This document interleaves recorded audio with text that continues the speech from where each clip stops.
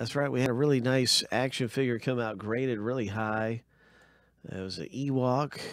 I can't remember the Ewok's name, but we were all talking about the value was pretty good in that hit. It was a good good hit. I think it was uh the matching sticker was Speeder, and Doug had Speeder. We matched a sticker. That's how you get the hit.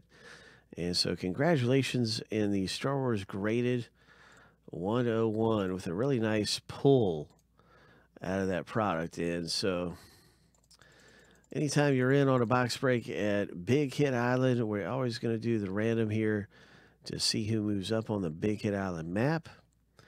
And so, we're going to do that right now. And I'll have the owner list going through here seven times. And the winner will be at the top list after seven.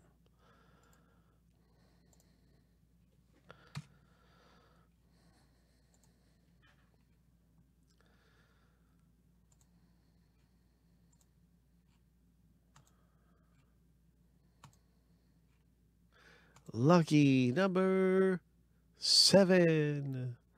Douglas M., congratulations. You're moving up on the Big Hit Island map, and you're going to be looking to hit some of these, and unlock some of these promotions. And so good luck to you. You'll find yourself another spot ahead on the game board.